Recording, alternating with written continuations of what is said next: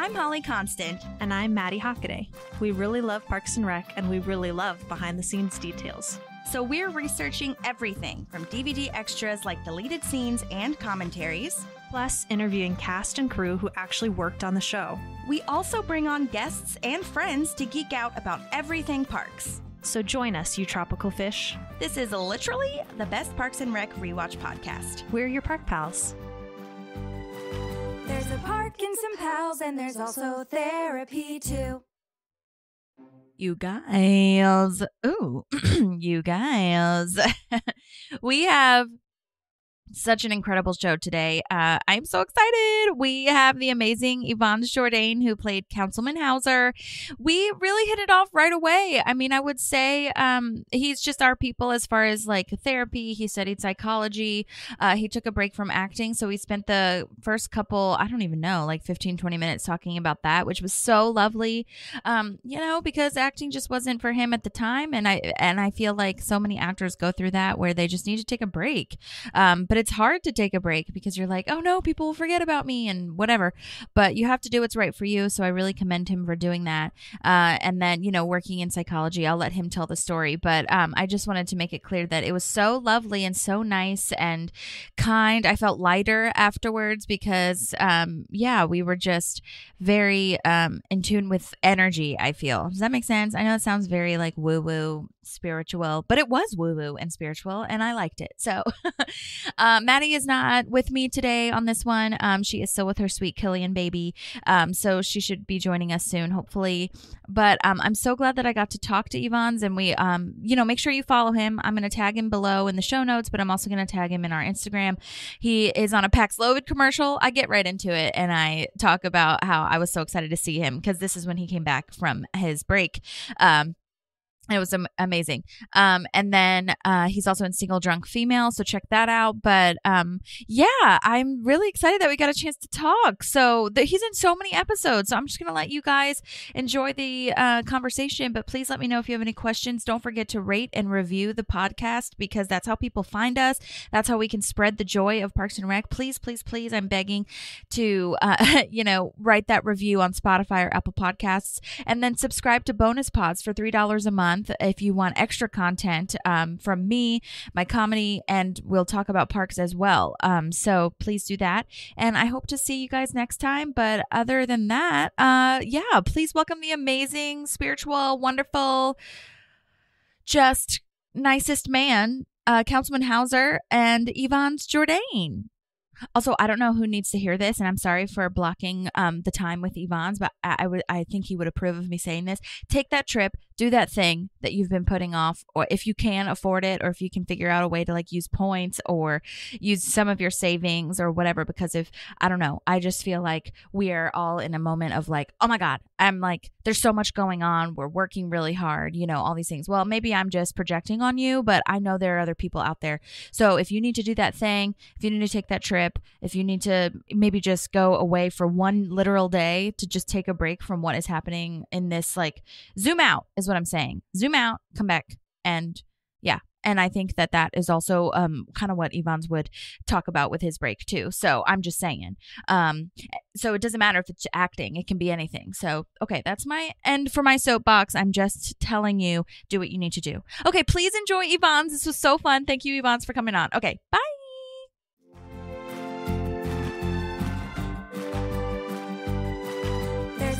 And some pals, and there's also therapy too. Hello. Hello, can you hear me? Yes, I can.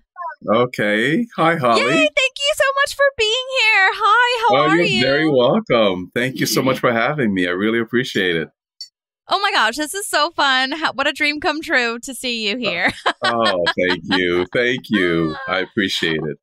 You know, I wanted to uh, mention too. I was going to say it in the email, and then I was like, I'll just save it. I saw you in the Paxlovid commercial, and I was like, Oh my god, good for you! Oh, yeah. Actually, that's my uh, uh, my way back into the industry because I had taken time off after Oh, Parks and. Recreation. Yeah, I took about five years off. Wow. Okay. just- yeah. What led to that So- decision? Do you mind asking? You don't have to talk about it if you don't want to. Yeah, yeah, no, we can talk about it. I'm I'm open book in terms of what you want to talk about regarding parks and career stuff. Um, You're an actress, Yeah. aren't you?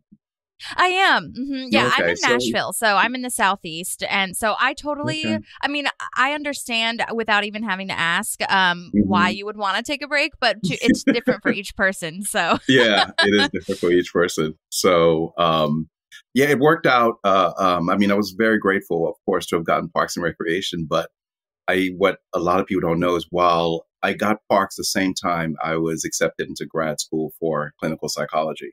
oh my god, So I was doing classes all day Saturday and then shooting Parks on the weeks that they asked me to come in. Uh, well, so- congratulations on getting accepted to that, though. That's amazing. Yeah, thank you, thank you. So that was what what was going on when I was doing parks. So um, I think if I was more a more um, business minded actor, I would have taken what was going on with parks and parlayed into other things. But that wasn't where my thoughts were at the time. You were just I was doing what I love, but I also had another side to me. I love psychology and what that brings. So I was exploring that side as well because I was getting so disillusioned with the business being in California and parks Yeah. happen. Of course, you know, they always say you book a trip, you want to get a job, book book a trip somewhere. And Yep. I was like, okay, I'm I'm done with the industry for now. Let me just go in a different direction. And then parks came along. So Oh my gosh. it just made it, yeah. And then after Parks, you took um, another break, or was that something where you a- after Parks you kind of went forward with it? Yeah, after Parks, I that's what it was. Is I was still doing the grad program and doing Parks at Oh. the same time, and I was working as a therapist with um Oh. with family and children. So when I would get the call, I would reschedule because I was going to the school system. So I was able to pick a different time when I would take the kids out to do therapy with them. So it allowed me to switch my schedule around when I had to jump into uh, to do a, a, a, a spot with um, Parks and Recreation, which started out the first time I did it. I thought I, I thought they didn't like me because you know I wasn't new to the the comedy where they would rewrite your jokes in the moment and then come back and Sure. give you something else to do. So I wasn't familiar with that process as much. So I thought, oh, they they didn't like what I was doing, so they changed the joke because it wasn't landing the way they wanted it to. So I was like, okay, that's fine, and moved on. And my agent called me back. I think it was a year later because it was the first season that I was introduced, and then a year later I said, oh, they want you back. I was like, really? Uh, I thought they didn't. She's like, no, they want you back. They like the Councilman Howser, and they they have ideas for it. And I was like, okay, I'll go with the flow. And and then subsequently following all the other um, episodes came up as a result of it. Oh my god, that is amazing. I have so many Yeah. things to respond to to what you Yeah. said. Okay, first of all, first of all, congratulations on the therapy. We love therapy here. Our tagline is "There's also therapy too," because Maddie, my co-host, who just had a baby, which is why she's not here, uh, Oh, is a music therapist. Congratulations to her. Oh my gosh, yes, thank you. And uh, I'm accepting the thank you for her. Yes. I'm an auntie, so I'm Oh, accepting it great. too. Great, Um, great. but anyways, um, she is a music therapist. Um, she's not doing music therapy right now, but that's what she Mhm. studied. We met in school, um, Oh, do for music, and she was Mhm. studying music therapy, and I was doing more performance kind of stuff. But we always talk about Mhm. how much we love therapists and therapy and all that stuff. So very well, uh, like we respect it so much. So I'm so oh, glad. thank you. So do I, Yeah. actually, because I know it's very helpful for a lot of people. Oh my gosh, Absolutely. especially families. She was working so closely with families and Mhm. how to best serve their kids and their, you know, environment around them because she was working Mhm. her one of her passions is um autism and working with autistic children and families and she was very very she is still very passionate about that. So I'm so Mhm. glad that um she's going to get to hear this and Wow. this is why, actually, when I left, I did leave after Parks and Recreation. I did a couple episodic stuff, but at the same time, I um, it wasn't fun. The auditioning process wasn't fun for me anymore. I used Mhm. to look. I used to look forward to them. I'm like, okay, what am I going to do with this one? It became where I was. Um, I, I was getting anxiety around auditioning, and I was like, "What? It, it, something's changed, and I need to figure it out. So let me just take a back." And I and I and I accepted a position uh, as a supervisor for a regional center where we provide services to the development of the disabled community, autism Wow. spectrum, and every, every and, and it was the adult division. So there was people that have gone through our system that are now adults living in in, in different uh, facilities that we we funded for. So I Mhm. ended up taking a position as a supervisor, and I had 13 staff that I supervised that actually went out and did the direct care, which I couldn't do because I'm an empath, and it would just Mhm. rip me apart to keep. That's why I left therapy. I was like, I could do Yeah. super. I could be a supervisor. I'm good with. I like working with people and motivating them and working with them to get to a goal. I just was not good at the direct service with us with the patients and the clients because it it just affected me too deeply. Yeah, I think Maddie would 100% relate to that. We've talked about that a Mhm. lot, and I, I mean, I'm not going to speak like for her completely, Mm-mm. obviously, but yeah, we we've talked um, a bunch of times. Especially, it's just it's so exhausting, first of all, and then also, I don't think therapists are paid enough, especially in those kinds of jobs for families so- specifically. Yeah, absolutely. Um, yeah. And I mean, I'm not saying, and, and that's the thing with therapists. Most of the time, if you're really, same with teachers i- Yeah. and nurses, if you're passionate about it, you're going to do it regardless, but it wears Yeah. on you so Mhm. much.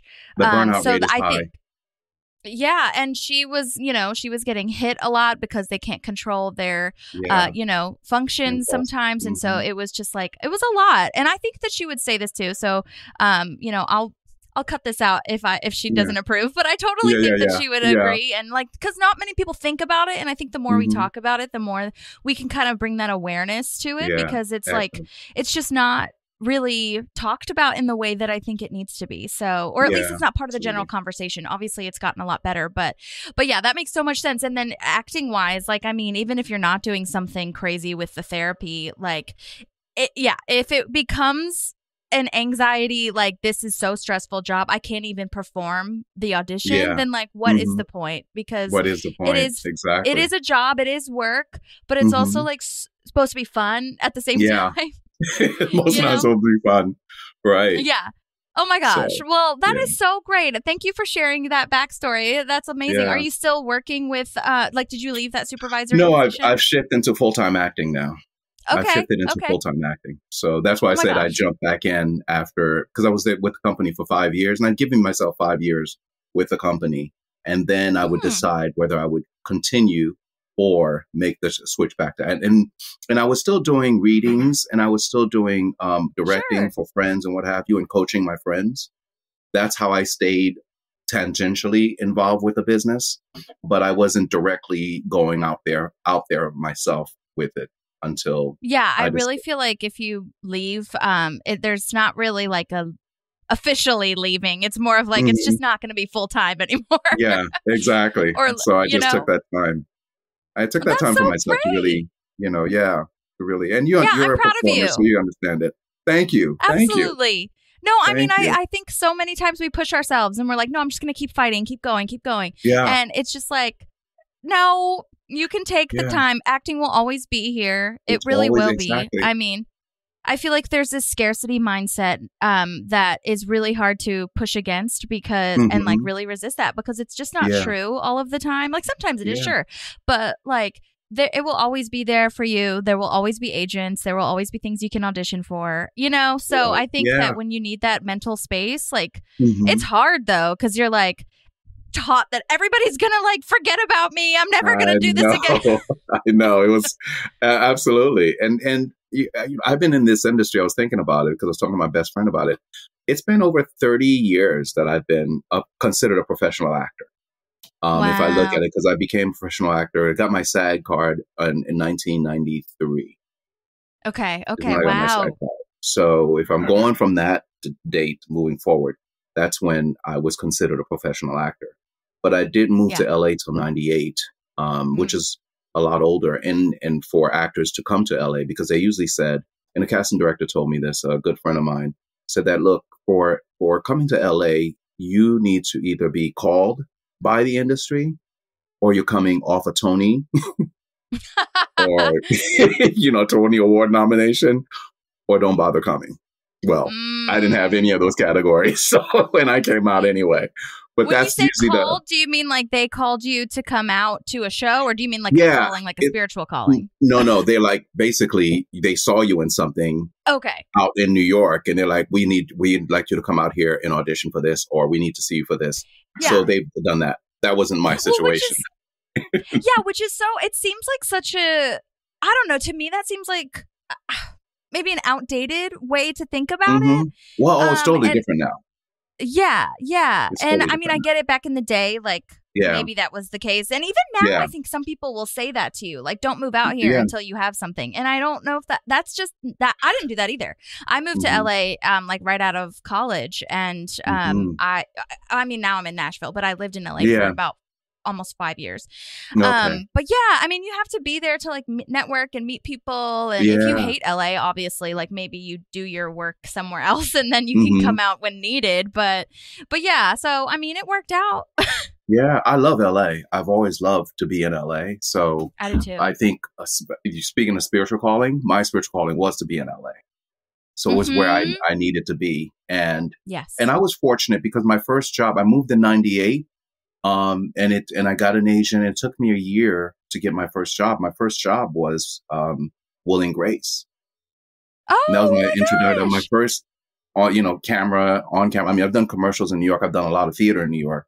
But when I got to LA, my first job was was that was um, Will Amazing. and Grace. Yeah, which was like you know, and you're coming into the business, you don't know, you're still excited, and was it was very thrilling.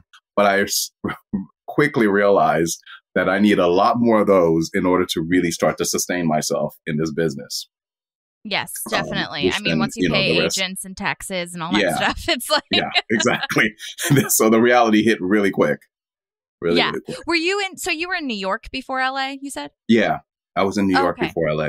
Um, I did my undergrad at Rutgers, Okay. and then I moved to New York and started studying um, with a really terrific acting coach. Alan Savage is his name. I studied under the. I did took some courses at the American Academy of Dramatic Arts in New York, and I took and I studied with some other. But the acting teacher that I said that I I learned the most from and really honed my skills was a man named Alan Savage, and he had Mm. uh, and he had a small class, about eight to twelve people. That's the only amount he would allow in his class. But I understood why because it was very intimate, and we got into a lot of personal things in order to flesh out characters. Mhm. Um, so he needed he created a safe space for that everyone to to be able to do the, to do that kind of work. And and when I I had to audition because I had to audition for him, and it was kind of serendipitous because I met him in a gym, and he was telling me that he used to he had a um, he had won an, an uh, Emmy for a movie he had shot. And out of in that movie, I saw, and I happened to see the movie when I was a kid, and it stopped me from doing drugs because it was about a kid who OD'd. And I said to him, I said, and when he mentioned it, I said, "Is the movie called Not Me?" And he's like, "Yeah." How do you know that? I was like, "That movie stopped me from doing drugs." And he said, "He's like, wow, I've never had anyone share that experience that they that movie had that kind of effect on." me." I was like, "Oh yeah." I mean, I had friends who were delving into and playing. I was like, I was focused. I was going to be. I was going to go to college, and I was going to um, get a scholarship and and go from there. And so he said, "You know what? Um, I like you. If you ever need any help, you know, let me know." That's when he told me he was acting teacher, but he had no space for me. I had to wait a Mm. year to get into his class. Wow. A year. Oh my Yeah. gosh. The acting, the wait I'm dealing with that here in Nashville. Um, like the waiting list to get into acting classes is so wild because everybody's like, you should be in a class. And I'm like, I want to be in a class. I'm trying. Yeah, I it's, totally uh, get it. Yeah. But um and it was interesting because when I did I had to do a monologue for him to get accepted into his class because he he said, you know, I have really some really talented people and I like to keep it small. Well, Mhm. I got into class. The people that was in the class that I went to audition were the likes of Hinton Battle, because he was on Broadway at the time. Hinton Mm. Battle just passed away from he was three time Tony winner, um, dancer, actor, singer, did all three of them brilliantly. Kim Cattrall, she had just done Mannequin. And so Whoa. she was in class with him, and she Oh hadn't God. she hadn't become Kim Cattrall yet. She was on her way. So it was people, uh, you know, Norm Lewis. It was just people like that in the class, and I'm like, I I knew who they were face wise, Sure. but then of course they took off to do really great things. And I sat in class and I was like so nervous. But the way he ran the class was everyone got to say what they thought of your monologue. So I got the feedback and he said, and he's like, you know, I think I, you know, I think you're nervous and what have you. And I was like, yeah, of course. And then it's like he's and he pulled me aside. He said, "Go back. I'm gonna give you a note." And and he gave me the note and he said, "Come back and do it." Now that I've gotten it all in my system, and it was like, I don't care. I'm just gonna do. it. I took the note and I did it, and everybody was much more responsive. I was like, "Great, what have you?" And I got into his class, and then I started studying with him. So Isn't that the craziest thing about acting where it's like you care so much, but you have to pretend you don't care to or actually not care to, yeah, I know to make it You know, work? Oh my to god. make it work.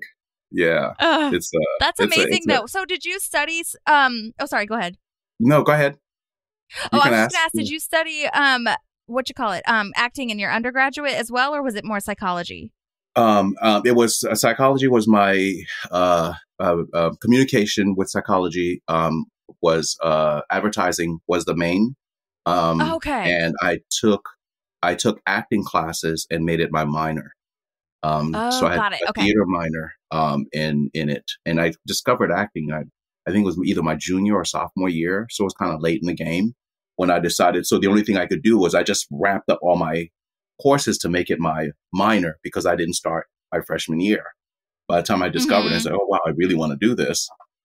By that time, and Bill Esper was the head of the department, and his um his second in command was a woman named um, um Flanagan, um, and she's the one that uh, kind of gave me a little nudge in in that direction.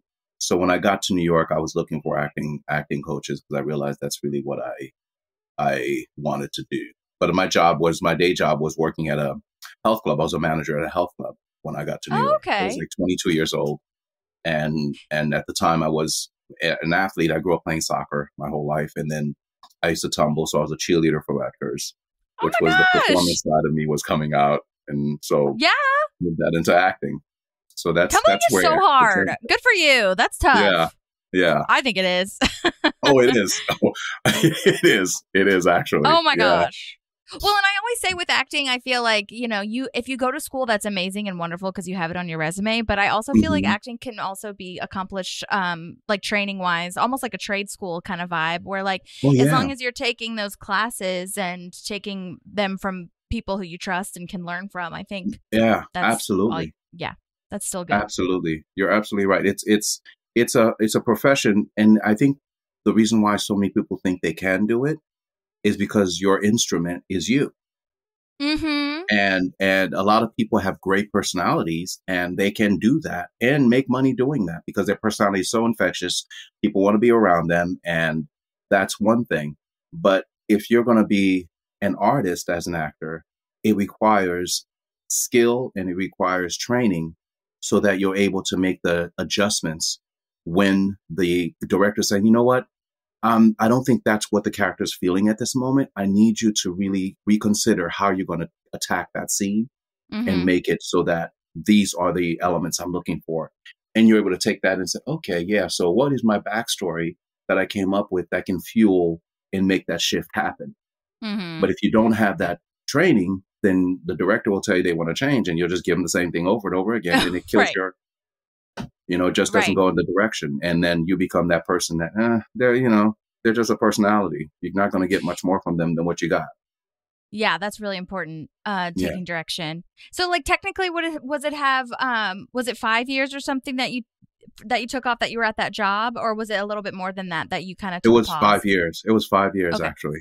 Five years. Okay. and Wow. and it was it was interesting because I said to myself, I'm going to think about it five years. But the universe always comes around. I'm very spiritual in that way, and I believe in oh my god, in, same. in how things come together. There's a lot of serendipity in my life. How I moved to LA, how I got my acting work. There's always some kind of synchronicity and serendipity to it. And Mhm. I I um when I a friend of mine booked a pilot, and she said they're looking for the uncle, and you'd be perfect for it because I'm I'm I'm Haitian um born. So Okay. and and I speak Creole and French, and she's like, they're looking for somebody who do that. So why don't you uh, um you should audition? And I said, look, I've let all my platforms go. I don't even have updated information, so I'm gonna have to pass on this one. So she took it upon herself, and this was 2021. She took it upon herself uh, and and went and got my stuff. And she looked at my all my resume. She's like, "Oh my God, you've done a lot." And she's like, "Why aren't you Why aren't you acting? You're so good. I've seen your reel." And blah blah. And I was like, "Well, Hmm. I, I, I'm going to get back into it, but I'm working. You know, I'm working this job right now. I got to figure things." And she just went. She's like, I, she sent her, my information to her manager and her agent, and they both reached out to me and said, "We'd like to meet with you." And I was like, "Sure." You know, they're coming to me. I'm just going to go with the flow. I signed with them, and that was in 2022. I signed with them, and uh, by that was in March I signed with them, Mhm. and uh, I booked um, I booked uh, single drunk female that Mhm, I saw that. Okay. That August I booked single drunk female, and then uh, I was getting a lot of callbacks and a lot of good feedback from the casting directors saying, "Hey, we like what he's doing. We just need to find the right things for him." So the positive response made me go, "Hmm, maybe it's time for me to get back into the game and really take it more seriously and make that the focus instead of trying to juggle Yeah. two jobs." And Yeah, once the uh, the Paxlovid commercial came shortly after that, and I was like, "Okay, let me just jump in and make it all one direction."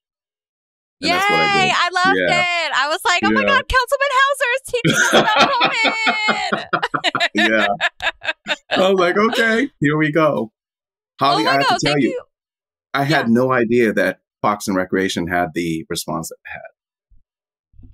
Oh I had my no gosh. Well, idea. and it's gotten bigger with all of these streaming services as it's Yeah. resurfacing, especially with The Office. I mean, I don't know if Parks has um, resurfaced as much as I would say The Office is because The Office has Mm-hmm. like 800,000 like books, podcasts, like all these things.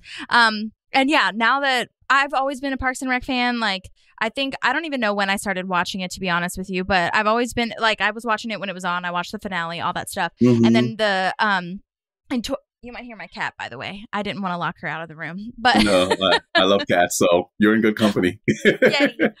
Um well anyhow so then i watched the 2020 thing um and then maddie and i were sending uh voice memos back and forth to each other because she actually lives in arizona. And um and then we were like i wonder if we should just start a podcast because we like i think other people would be interested in talking about this stuff. And then we landed on parks and rec because we're both parks and rec fans. And i have to say the guest stars that i've talked to have Mhm. been or like crew or whoever have been Mhm. so kind and generous with their time. I mean there's only like i can count on one finger who it might have been like oh they they don't want to talk about it anymore it's fine. Um, but for the most part i would say like 95% of people are just like oh my god i loved that job. That was so fun. I'd love to talk about it again. And it really goes from the top down because i've heard amy poehler obviously is like just the best and it just trickled down and i think it trickles down into the audience too. Like the people who love parks and rec love the people who also love parks and rec it's such a Correct, community so it's so wonderful and i just really appreciate you taking the time to talk about no, it oh, thank you so much. I, I, I was a friend of mine actually when I was working at the job. I didn't realize um, the the impact that Parks was having outside of just when it ran the the years that it ran. And I knew that it was on the streaming services, and I knew. And sometimes, occasionally, I get somebody when I was working as a therapist said, "What are you? Did you?" And I was like, "Oh yeah, but but yeah, that was a you know I did that a while ago, kind of thing. Kind of brush it off so the focus could be on the what we were doing therapeutically." And when I started working for this company, when I got there, they had all Googled me, and I didn't know this because I wasn't Googling anybody. So they all Sure. Googled me, and I'm coming in clean and meeting my staff for the first time because I'm a new supervisor in there. And they're all like, um, one of the guys said to me, um, yeah, you know, I, I, you know, just wanted to let you know that I know that you're an actor.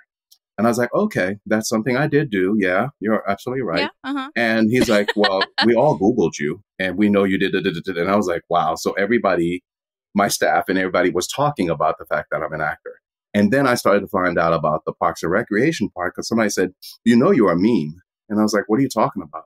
And I didn't even know what a meme was at the time. so that's how i'm not familiar with uninvolved I was. meme. tell me I know with any of that. And then he said, "Have you have you googled your name?" I was like, "Uh, yeah, but it's you know some of the stuff that comes up, I don't even have any connection to it. It's just people creating content." And he's like, "No, Google your your Councilman Howser name." I was like, "No." He's like, "Try and Google that." When I did, I saw all this conversation about Fox and Rec and Councilman Howser and how he support he didn't support um Leslie Knope and he should have done. And I was like, "Whoa, wait a minute." Uh, What is, and that's when I started learn. I said, "Oh my, I didn't even know there was a podcast about Fox and Recreation. oh my gosh There was so much the I didn't know. fandom is wild it's wild. There's a cop that, you know, I love Nick Offerman. I love that Mhm. man. And he has a mug for him with his mustache. And, you know, Yeah. there's like people created stuff. His character, I love his character. He's my favorite character on the show. yeah oh my gosh Nick was Yes, my favorite the character on the show. You know, and of course, outside of of Amy, Amy was as they as they said, such a gracious, so incredibly talented. She make she made it look so easy, and it was Mhm. not because she had so much dialogue to to remember. When we would finish our scene, she had to jump into the next scene and go through that whole thing. But what I really appreciated with her is that I'm not um, part of the the uh, um, improv machine that she's from. So a lot of the people, the guest stars that would come in, came from that background, so they could roll with things. And and I know that I was the straight man to her, her wackiness, Mhm. and I was like, I'll stick to that because I'm not one that thinks really quick on my feet and do all these gymnastics with improv. And they would have something called a fun run after you do the dialogue. They would do a fun Mhm. run just to just spin off and and and vibe with each other. And Amy would always lob me uh, a, a, a line to try to get me to vibe with them in, in improv. yeah. And I had like two words is the only thing I could come up with because I could never flow like they were flowing. Um, I mean, there's a reason there's training for improv exactly there's training for it. I understood so the yes and the yes and part of it. You always want to Sure. go yes and, but my yes and was like I don't know what the else is coming up because they were so they were just so Yeah. good at it. I mean, the Oh my episode gosh, with well- Pat, hmm no, go ahead. The episode with Patton Oswalt, oh yeah, Patton oh my gosh, you know, filibuster. yes, He was, I mean, He- that genius. the Star Wars thing. I The and Star the Wars Marvel thing? Universe connection. yes, Yeah, yes. I have read many a blog slash fandom thing about how that was all him, and he.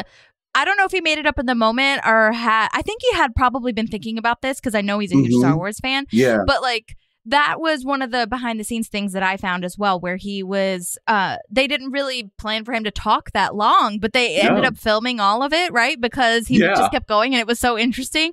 And then Yeah. I, I think I don't know if it's true. I'm sure you can tell me, but um, it was like when and that episode particularly when Chris Pratt Andy leans forward and I think somebody oh maybe I think it's Jamm leans forward um as well and is and I don't think that was meant to happen from what I've read they they were just like so intrigued by it and yeah, along. we were. Yeah, we all were. We were supposed to be being worn down by the filibuster.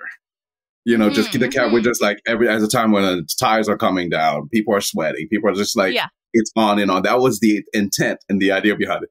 But he was so fascinating that we kept going. Oh yeah, we're supposed to be wearing down, but we're like, what is happening? He is so engaging, but that wasn't Yeah. what we're supposed to be. So we kept fighting the moment with wanting to hear him because he was just riffing and it was hysterical.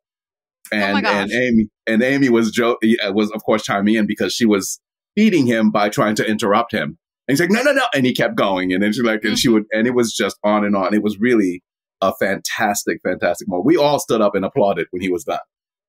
Um, That's we all stood up and applauded. Yeah. We all stood up because and for the, the audience, the- that's called. I think that episode's called like Ted Party or something like this, where they are trying to get rid of Ted Party, get rid of um or Ted Party Day or whatever it is, where they Mhm. Oh, throw you in the lake. Yeah, yeah. oh, I didn't know that. Yeah, because that one is um yeah they're trying to get rid of all the laws. Remember? Oh yeah, um, yeah, oh yeah, yeah, yeah. That one. Yeah, yeah, absolutely. Yeah. Yeah. Yeah. Yeah. Yeah. Um, but yeah, so I would love to hear though how you got your job on Parks and Rec in the first place. Like any sides that you remember going in for the casting office, anything Yeah. like that? Yeah, I remember. Actually, I wasn't going to go to that audition because I, oh, yeah, I had, I was just leaving another audition when I got the call from my agent and said, "Hey, they would like to see you for this project. Um, can you make it?" And they knew I was leaving one other. I was like, you know what? I don't know because um, I looked at the sides. I quickly I looked at the the part, and it's a councilman. I know I need to be in a suit. I didn't have a suit on coming from the other. I was going for something completely different. So I was like, by the time I turn around and go, and it's I won't I won't make it in time. So I would have to decline on it. So she called the casting. She's like, look, can you can you see him later? And they're like, she called me. She's like, they'll see you later. So I was like, well, okay, I guess I got to do it. So I went and Okay. got a suit and went over there. And when I got there, I was looking and the side I had the side, so I worked on what I got. And when I got there, I saw um, a lot um, some other guys in suits and ties, and it wasn't only African American. It was black, it was white, it was Asian, it was Latino in suits. And I figured, Mhm. oh, that's the role that they're reading for the same role I'm reading for. And I, but I looked at their sides. They had something different than what I had. Hmm. So I was like, hmm. And I said, is this the side for the councilman? I was like, yeah, this is, it said Councilman Howser. And I was like, but I have this side. He's like, no, that's something else. Here's your side. Um, to the assistant said. And I was like, Oh, now dang I it! gotta, you can I gotta, like- show if you need to. yeah, yeah, yeah. So I, I started to get nervous because I had no time. I was, I already Yeah. signed up and everything. And I was just at the last minute noticing that somebody had, those guys had different sides than I had. They all had the Councilman Howard side. So I immediately went and got the Councilman. I was looking at it and I was like, okay, um, this is what, uh, this is what I can do with it. I'm just going to, uh, play with that and see what happens. And then there's like, um, Yvans, you're up. And I was like, okay, boom. So walked in and the casting director was like reading with me. And I took the opportunity to, because it's the scene where Pratt is on her, her back and, Mm-hmm. and it's, you know, and they're, we're having the dialogue. So I was, Yeah. I was looking completely, I made the choice to be in shock that this was happening and trying to have a conversation. And I kept diverting my eye to like, what the fuck are you doing? My underplaying is like, yeah, and yeah. so eventually, and then next thing you know, I got the call and said I got the job. I was like, really? And and it was one of those things where you have to trust your instincts because I had no time to think. I can only go by instincts and being in the moment with her and just Mhm. reacting off what she what was happening with the camera. And use Yeah, that. I made the camera something was like, whoa, what's going on here? And then um I so wonder what the it- other sides were. How did you get the wrong sides? That sucks. you know, it really I mean, sucks. It's- out, my but- agent sent it. Yeah, my agent sent it, and I think she just clicked on the wrong thing instead Okay. of the, you know, because they send you the different ones, and but it worked. Yeah. It it turned out it as as I say, I don't begrudge or have any kind of envy over other people getting roles because Mm-hmm. I'm a firm believer that m- what's mine is mine. Yeah, And it's gonna show will not up. pass you. yeah, yeah, will not pass you. So that one was meant for me, even though it seemed like there was stuff that was sabotaging it at the moment, but it Yeah. was meant for me. And it just Yeah. turned out to be a blessing on, on so many levels that I was not even anticipating just from taking that, that call and making it happen when my agent Yeah. pushed and said, you know, they'll see you. Um, Right, that- totally. yeah. Yeah. Because the office, that office liked me and they kept bringing me in for other things. It's just I Mhm. never booked anything. right. Um, but right, they right, liked right. me and That kept bringing me happens. in. Yeah. And It's so- nice when they bring you in all the time. I mean, it Yeah. is, yeah, it's one of those things that's like half annoying, but half more grateful because you're like, wait, if you like me, then can I just please get this one? but again, it's Mhm, not I meant know. for that. Maybe all those things weren't meant for you, which It's is what you have to keep me. reminding yourself of. The thing that sucks is when you think that something really is meant for you, like I, I nailed it, but it just, Yes. again, it wasn't for you It spiritually. for. I know. I know. And then you go, and then you happen to watch what it is you went up for, and you see it, and you're like, "Oh, okay, that's the choice they made in one direction." right, Okay, yes. I get it. You're I oh, know "Oh, you're like, okay, Interesting. yeah, I get it. Okay, fine. okay, I guess whatever. It's like it's Yeah. not like I'm so happy for them. Um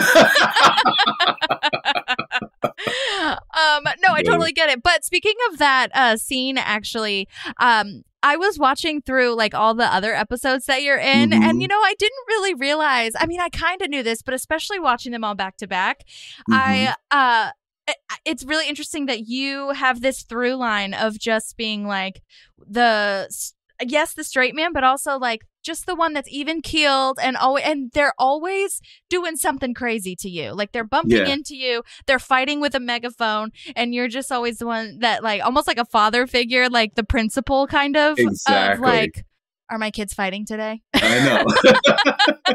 and you know that the writers, uh, because one at one of the rap parties, the writer said, uh, I was talking to the writers, and I and I said, you know, I, I when you first hired me, I didn't think that you guys like. He's like, oh my god, we love Councilman Howser, and and he's like, that's why we keep, you know, we we love the fact that you're the you're the um the anchor for the Mhm. fodder that happens because Yeah. you're the and, and there wasn't they didn't use straight man, but basically you know, the idea was that I'm the legit one in terms Yes. of serious about the business and and keeping the moral code and the compass going in the one direction. Mhm. Meanwhile, everybody else is spinning in different directions. The wackiness is happening, and when they see me, it's kind of like a reset for them.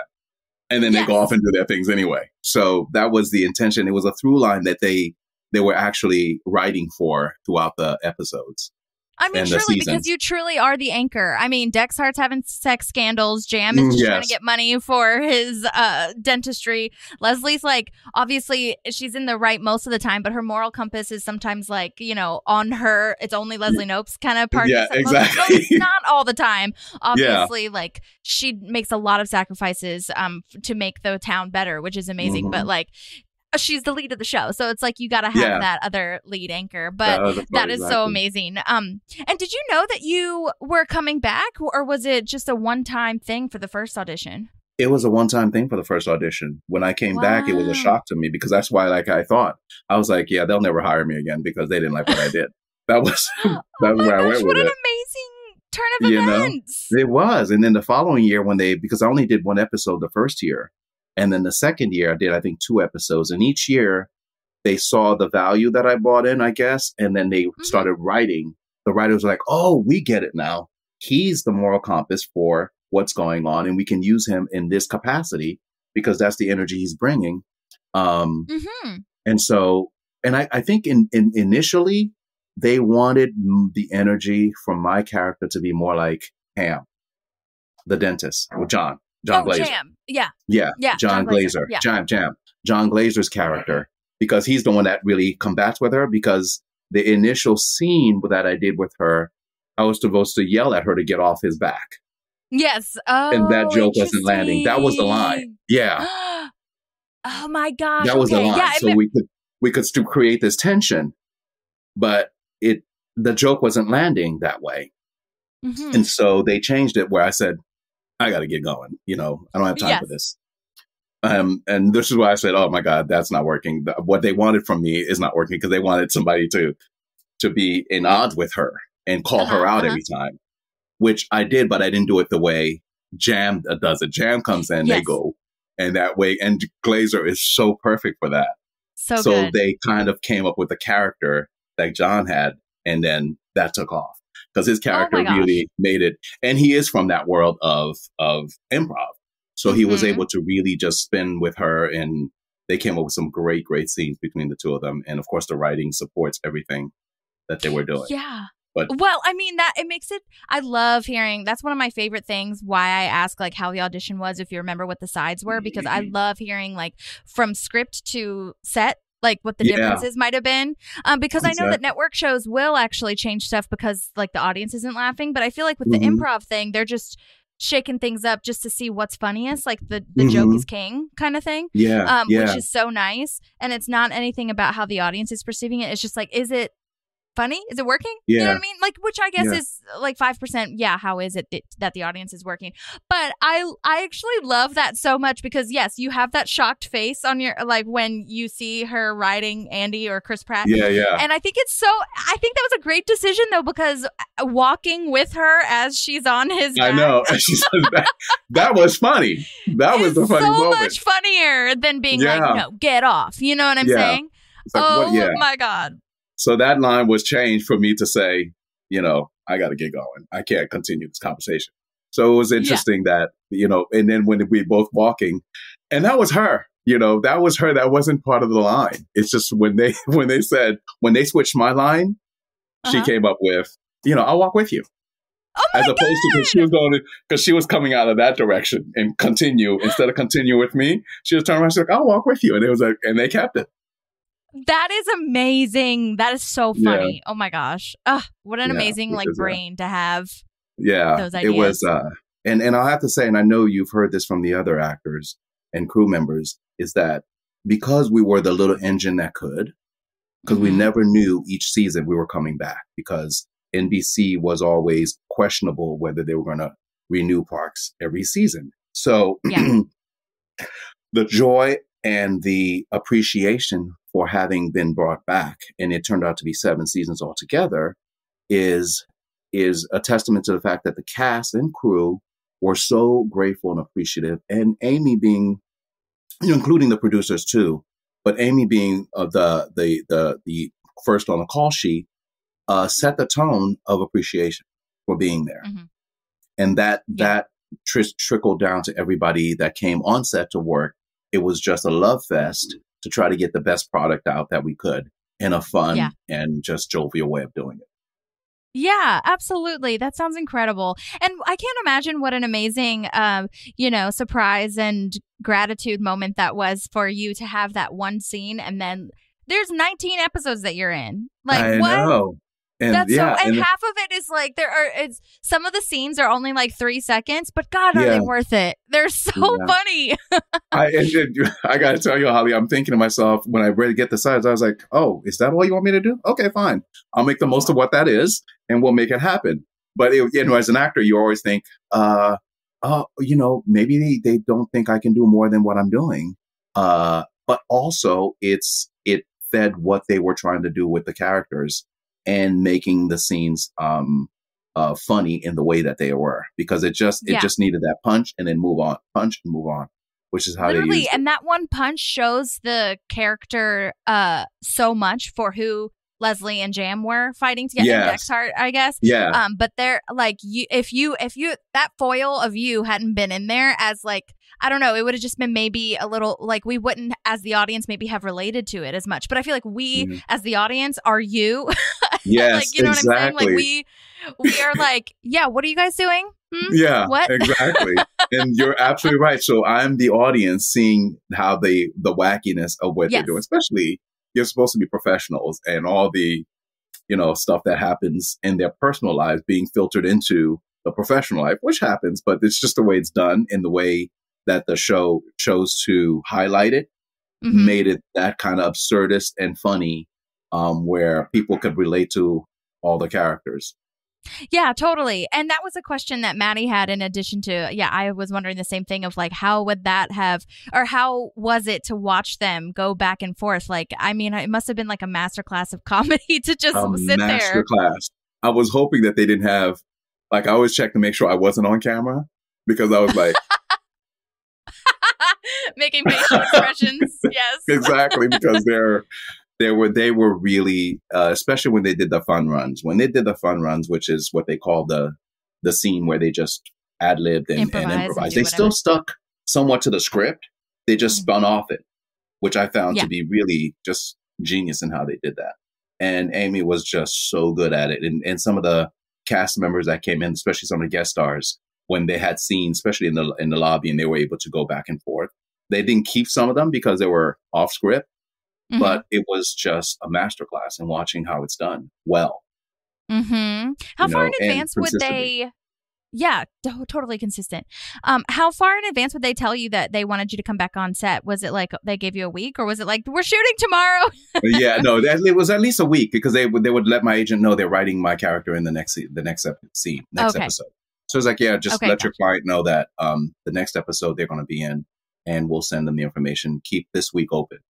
So I knew that I have Okay, a gotcha. week to keep open, and then they give me the dates, and then I'd go in and shoot on those dates, and I would rearrange my schedule.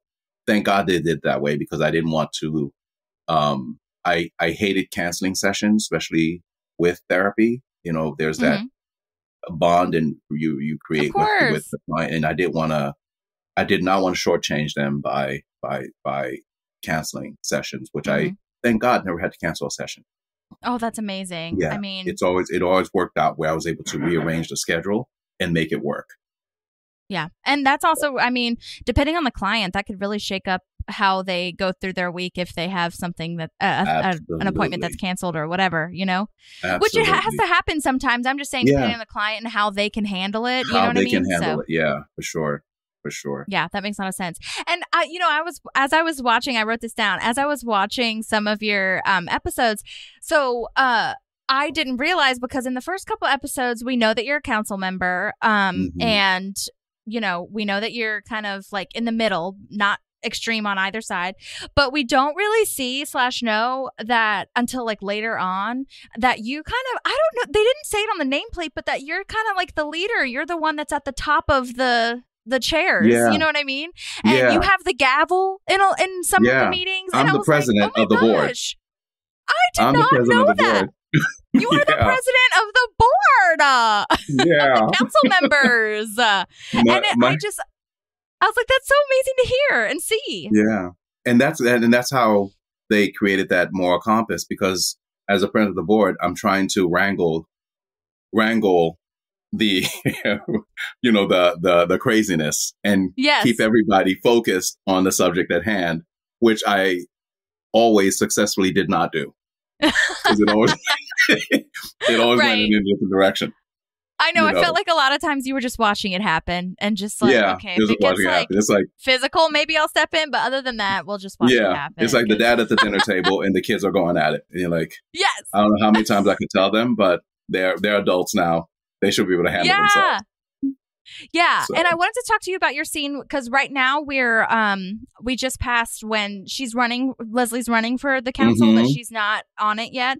And I want to talk about your scene with Rob Lowe where you have to tell him like you might not have the job because Bobby Newport's gonna uh, hire his own Yeah. person. He's not happy you've been uh, volunteering. That one was like a juicy, chunky scene. I was like, oh my gosh, I did not know that because I've always Yeah. wondered as I've been analyzing the show, we're like, is it okay that Rob Lowe's character is volunteering for her campaign, even though he's city manager? Like, which technically I think it is, but obviously that Yeah. came back to get him. So I just thought that was really cool. Do you have any memories of working with Rob Lowe? And I do. I, I do. And I, I actually loved I love that scene a lot uh, because I learned a lot in terms of just my own personal managing of nerves Mhm. because um working with Rob and and uh first I was nervous because I think he's fantastic in that part. He was so fantastic.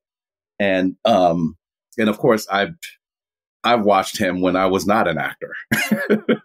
you know, I know I've known of him when I wasn't even he's an been actor. in our So lives be- for the whole time. yeah you know he grew up you know with with me in a sense and then Mhm. to be there and now i'm doing work with him it was and he was incredibly gracious very professional kind um and if the first time i did the scene it went and he's like fine the director came back and gave me a note and i made the change and when he came back and gave me the note i'm one of these actors unfortunately for me is that when i'm nervous I pour down and sweat. Really? Yes. it's like I can't hide my nerves because it comes like pouring down. Oh, so in between the next the first take and the second take, I was like, I need tissues, please. And I was like, okay, how do I say that? I need tissues so they know that I'm I'm I'm like sweating. I could I feel it. And I looked at it in the back of the scene. There's a drop of sweat in the back of my neck when they cut and they're look they're giving his POV and I'm talking to him. I was like, yeah, I could see because I was just like patting down before the scene without trying to Sure. mess up with uh, the little light makeup they had on me. So I Oh tried to gosh. pat Well, down. I didn't see like- it. So Yeah, I, I I, mean, I'll have to go back. That's a nice little Easter egg behind the scenes moment, though, that I'll have to look at Yeah. next time, but I didn't see the it. so you're nerves good. were the nerves were running through me left and right. But that's why I said it's it's an important moment for me because it's more it's one of those where I I was able to make the switch because that you know the negative self talk could Mhm. kick in Mhm. when you get a note because you think oh I just I, I'm doing what I'm supposed to be doing and then you get a note and I was like oh okay let me make that adjustment and it worked out because he wanted me to uh, um like cut him off but like, not cut him off but really come right after and he's like um Councilman uh when he says the line that um Ron Swanson who told him something like that he's like Ron Swanson he jumps in and he's like Mhm. uh, I want you to really stop him and say look and then go from there and I forgot what I'd done Mm. before which is what I did I was like pin it and then we go and we have that and he said bring him around and make sure that there's nobody listening to your private conversation and I was like got it. Okay. so so that was the movement that was added to make that scene Yeah. work from what I did initially. They made that adjustment. He's like, bring them around so we can cap the camera's going to be set up there so we can capture that interaction away from so that people can walk behind you because you're in a hallway situation. So I was like, okay, I got it. If that's what this, so that's what we did. But I remember getting that note and trying to make that adjustment really quick in my head mm-hmm. because I'm running the lines in my head and I'm just like making sure I stay on top of what I want to say. And, and, and so that's where the nerves come like, all right, um, just got a note to make all these changes and now I got to process it and put it in and still hit my lines. And, and I was like, okay. I know. Well, especially as a guest star, uh, when you're coming in for like a, you know, a, a day Yeah. or whatever, you're like, I don't want to fuck up the whole thing. Like, Yeah. And, and I no, have you to did a wrap, great job. oh, thank you. And I have to ramp up to where they are because Sure. I'm coming in and they've been Right. in their groove and I've got to ramp up to the get to where they are in the groove that they're in. And that's the part is doing guest star roles and and and coming in as co-stars or guest stars is that especially if you're working with the one of the lead actors, they have Yeah. their character set and they know their journey. They're comfortable in that their skin. You're coming in, you have to come in and be as comfortable and hit the and and be at the level in terms of their groove and hit that stride with them. And Mhm. that's always challenging when you're coming in. Yeah, know, and especially 'cause you're like the new kid at school. You're just like, yeah. I know I belong here, but also this is creepy and weird sometimes. Yeah. But it's also it, it, it is interesting though because I think that's something that you know you always forget, uh, or I always forget. It's just like, and it takes practice, obviously, to just have it be a sense of play more than Mhm. anything. Because when someone and when a director gives you a note, unless they really are, you know. A cruel Yeah. person. Most of the time, that direction is just like, let's just play with it and see what happens from And that. see what and happens. it's nothing personal or whatever. Yeah. Um, but yeah, so just kind of reminding yourself of that. But that was like you said, and like we were talking about, it's it's a chunky scene. I think it's Mhm. juicy. So, um, Yeah. yeah, I'm I'm glad that they gave you that. Uh, me too. I was very happy that they gave me that. It gave me a sense of, of, um, I felt, and not, not, that's, I, I felt at the time that they did. It wasn't because a lot of times in my head, I was thinking, I don't think they think I can act and do more than Mm. just a few. That's where my mind was going.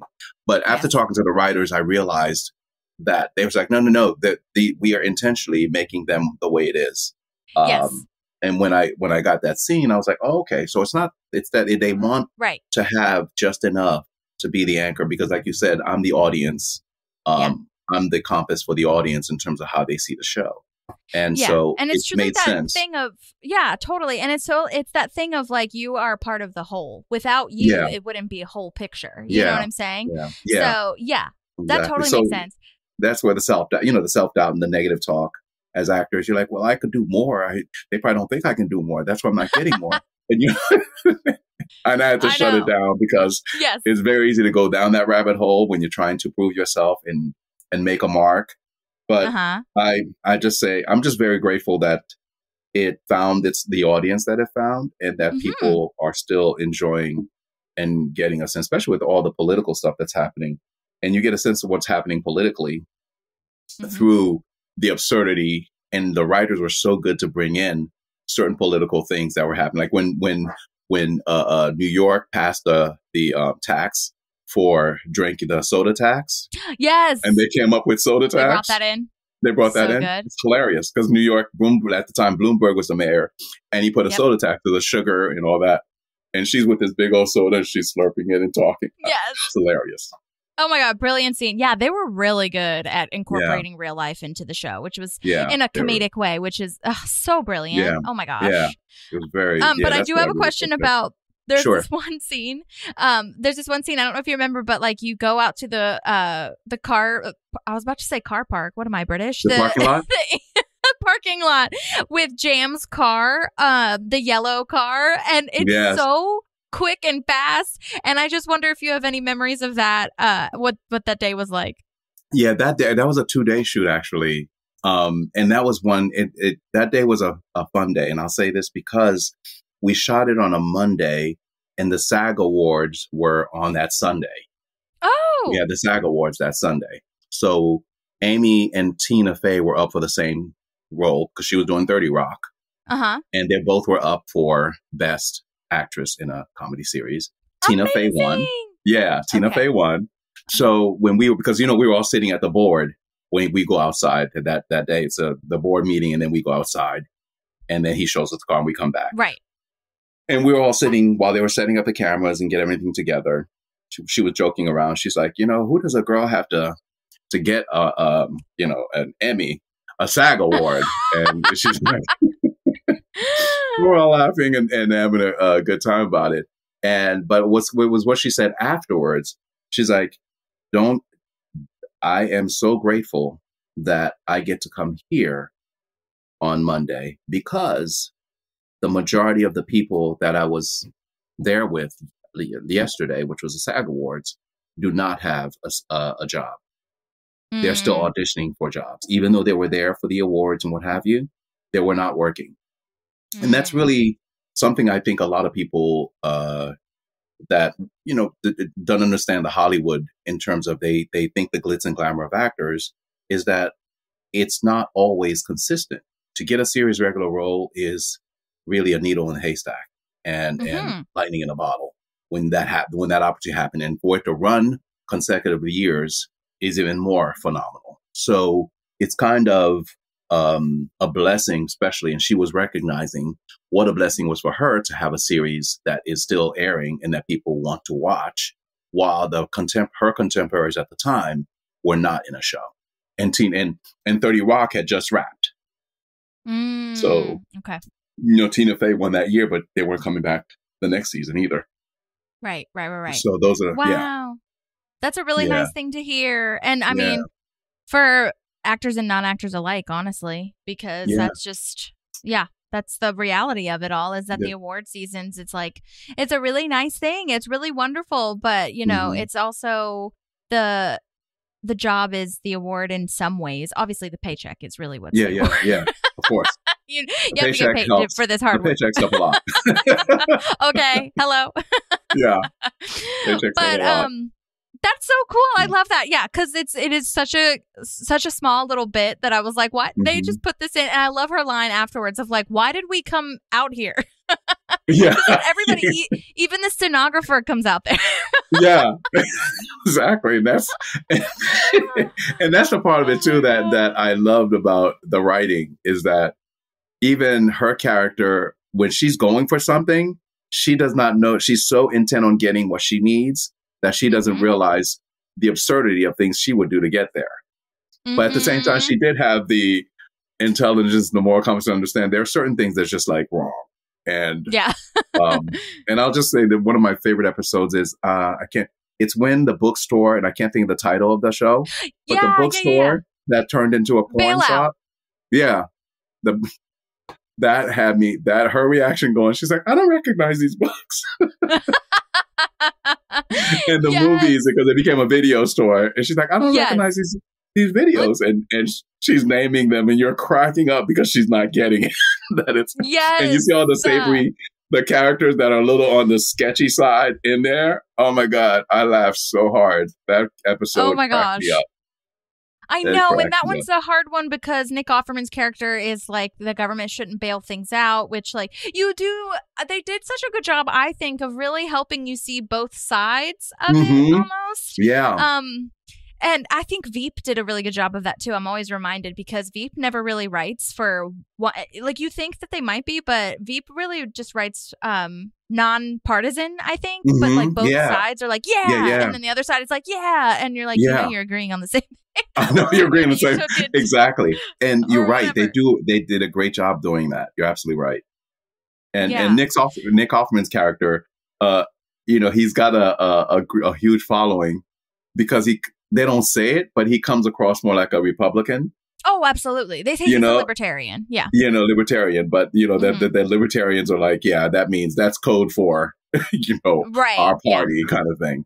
Yeah. Uh, and he does it so because it's so not who he is, and it's and he does it so well. That's why I love this character because he was just very straightforward and um and of course when his um Amy um and Megan Mullally who played his wife on the show, Oh, so good. She was when she was on, it was just a whole other hilarity to happen. Oh my gosh. Yeah, totally. We actually talked about that in the last episode because actually, when, in that episode where you have with uh, your scene with Rob Lowe, Chris goes to uh, tell Ron that you know I might have offered you a job that I can't actually give you, um, and Ron says, you know, I want to cut the post office, I want to cut traffic lights, I want to cut eighty five percent of the departments, and it's one of those things where it's a good reminder of how ex- how you should write it extreme on the extreme Yeah. side so that you know that it's a joke because like yeah, it's a reminder of like if Ron was a person in like it's funny in a show, but in a real life Yeah. you're like, if it was real life, you'd be like, what? No, how dangerous! I know. I know. They they made sure they pushed it far enough for you to realize it's absurd. Yes. Exactly. What he's coming up with is really exactly absurd. But that's his Right. moral compass, and that's what he would do if he had the power. Yeah. You know. And there's another episode that um I was watching that you were in where it's one of those ones where you're just I'm sure you read it and you were like, "Okay, is that all you want me to do?" because there's one where she Leslie's meeting with Anne and then she sees Ben running down the hall and she just runs and bumps into you and all she's like, uh, "You don't even say anything. You're just like, I know. uh I even what? you, you know, I remember thinking because I read the page and I kept looking and I went all the way. I read the whole thing and I'm thinking, so this is really all they want me to do is to come through because I thought I came back later and said something more, what have you, and I was like, okay, and and I'm, I'm glad you brought that up because that is why I was thinking. They must don't think I actually know how to talk and walk and chew gum and because that was one of those moments that made me think uh, they really they're just using me because they they don't want to give me they just don't think I can act so they're not going to give me more than what they think I can do and that's where my mind that's what I'm saying the negative talk was coming in Uh-huh. as an actor but uh but they they knew what they were doing and they had reasons for doing what they were doing so Well, and like I don't know. I mean, obviously, I I totally understand what you're saying. So I hope that you see in hindsight that that's first of all, I know you know now that that's not what they were doing. But secondly, it's like they, I think, well, Hollywood in general, kind of, but especially them. I don't think they they only bring back people they like is what I have found. So yeah they're not gonna like even think about bring uh, it's almost even more exciting that they just wanted you to be on set because that's just a random ass thing and they Yeah. trusted you so much to just like stand there and be that foil which you totally were because all you did was a facial expression and it slays it's just like yeah "Oh, councilman Howser nice to see you as always yeah oh my but your god face though back you're just like oh my god this Yeah. again because by that point i think they really did I'm, i mean the first episode i'm sure that Yeah. that might have been just a one-off but by that episode they had really created this persona for you of yeah like you're just the one that's knocked into all the time like what are you doing Yeah, yeah. I'm the one that points out her foibles when she's uh, acting unbecoming of a person that belongs in the office. Yeah. Unbecoming office member. Uh, Yes. The one one episode I really loved also is the bathroom where she comes into the bathroom when I'm in there with Ron. I wrote that down too Oh my god, that episode cracked me up so hard uh, because and what she came up to say at the end, I I was like, really. I know. So she goes in for the audience just to refresh everybody's memory. Okay, so this was the episode with the um, gazebo um, on Yes. the Sweetums property or whatever. Yeah, And she's yeah. following Ron into the bathroom, and you're in there too. And then Yeah. she's like, "Not that I saw anything. I didn't see anything." And then at the end, I, was- I wrote this down specifically because at the end she says, "You know, I saw your penis," but they know. not. They did not cut back to you, and I was like, I wanted to see his reaction. Yeah, I know. but at the same like, time, maybe it's good because you were laughing. I don't know. no, I no no because they wanted to be. I they wanted it to just land and go. To just Because if they cut yeah, back to me. Then it would have been um okay because the joke is really it's the button of the joke, You're so drunk. and I yeah. wasn't the button. She was the button, Yes, and that's that's you know it's because all those things I I learned on set is you if you want to put a joke in you button it. Um, to cut back to me is uh, continuing the joke, and I'm not the button. right, right, that right, right. line, penis is the button, because that's what you remember. Yes, absolutely. Is, and it's is that? total- it's like quintessential. I say The Office and the and Parks are the two. I think that really well. The Office really like kind of created that mockumentary, but they Mhm. that editing I think is one of the most um like innovative editing processes. At least I'm sure people were doing it before, but like the Mhm. now that it's mainstream, cutting so fast because that is and like sometimes there were scenes or jokes that like they'd cut like almost two seconds too soon but- and that makes it Mhm. even funnier like when Yeah. there's one when pratt throws up or something and they cut it immediately you don't watch him throw up the rest of the time it's just like yeah, the yeah. the initial act of throwing It's it's exactly because they don't want to gross you. They want they let you because they, you know you learn that the imagination sometimes is a lot funnier than the actual Mhm. visual of what you're showing, and I think Yes. they captured that because it's the same. It's the same producers for both The Office and and and Right. um and, and so they understood that um that way of of getting the joke across without showing show and tell of it. yeah. Totally Oh my gosh, I love that. Um, Yeah. but I was gonna ask you too. So, uh, though I was looking up some of the directors that you had worked with over all 19 episodes, and Greg Daniels was one of the directors, I think, for that first episode.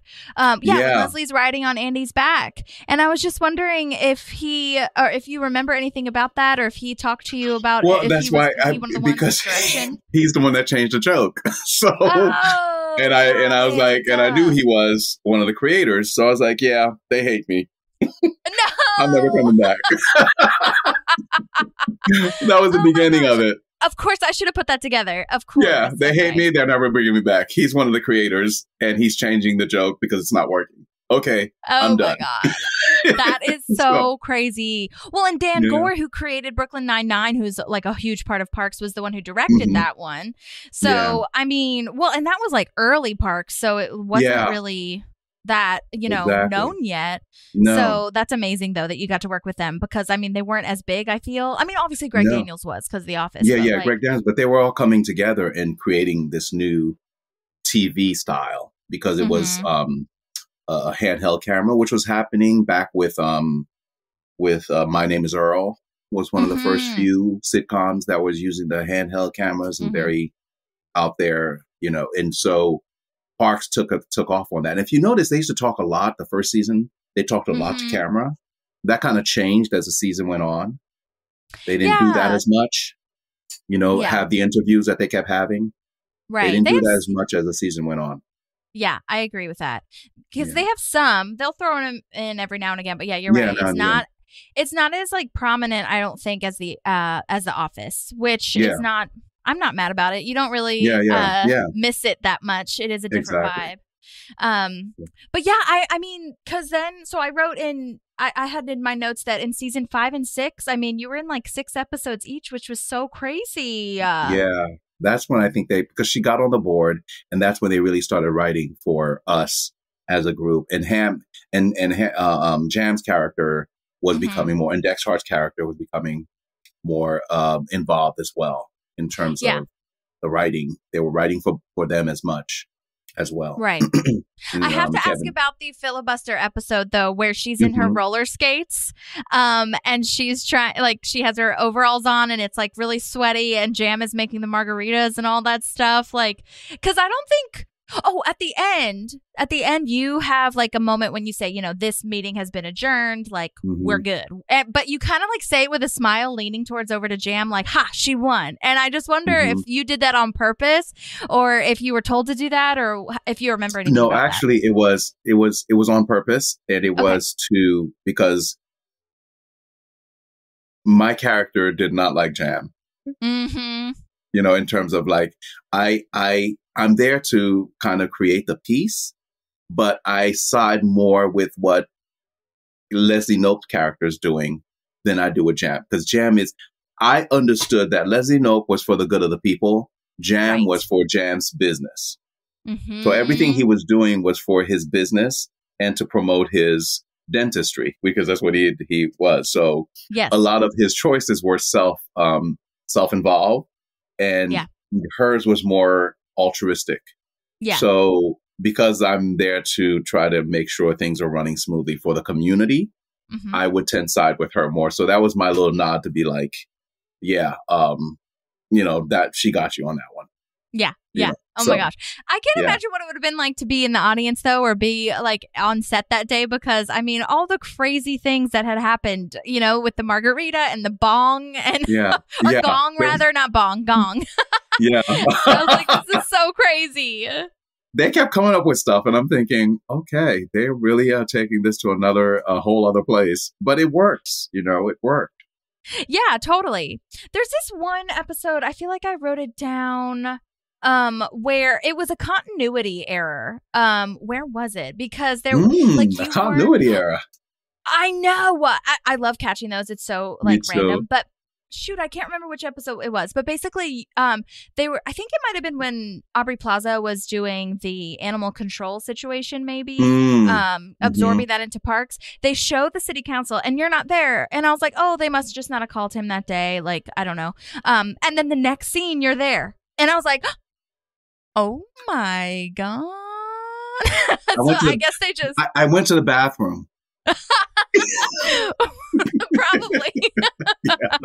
You're like, um, you guys can keep shooting. I'll just, I'll be yeah, back. I, I, have, I have to look at that. I have to look at that. That's a good catch. Oh my gosh, I'm trying to head count. Da, da, da, da.